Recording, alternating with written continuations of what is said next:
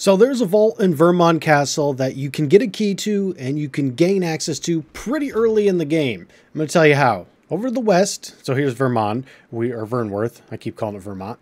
Uh, there's an ancient battlefield over here. This is where you got to go. So when I say early, I'm talking maybe like level 10 to 15.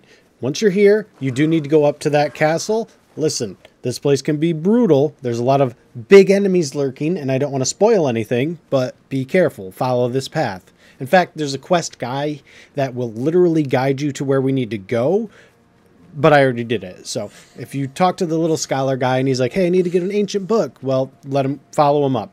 Once you're inside, deal with the skeletons, or don't. You can just run if you want. It's up to you. And head up the stairs. Once you're up there, follow the lamp, go this way, the blue lamps.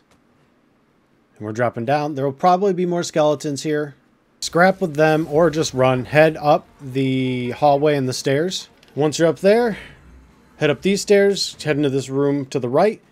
Uh, there is a book, The Nation's Death Knell. I swear there are way more skeletons than there ever have been in here. That's part of a quest. So grab that. But there's also a chest right there kill all the skeletons, grab the freaking book, or if the quest guy's there, let him do his quest, and then you can grab the book. Open up the chest, and inside there will be a makeshift vault key. So now we have access to the vault. We just have to get back there. So head up to the fountain garden. This is the best way to go in. Uh, you will head into the kitchen from there, through this archway.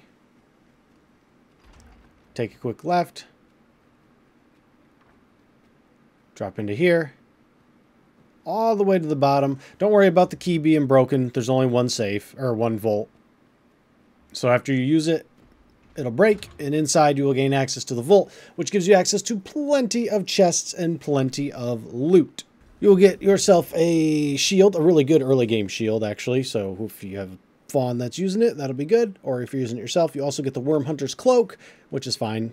Uh, the Decaying Medusa head, that unfortunately is pretty useless to my knowledge unless you can reverse time. Uh, and then you will also get, not that beetle, I just wanted to use it. You will also get a ring. I believe it is the Ring of Resolution. No, it's the Ring of Reassurance. It's one of those two. And there's a gold pile also. So point is, you can get in the vault, you can get all your stuff, and, and then you can go about your business. All right, that'll do it for me. Later, Gators.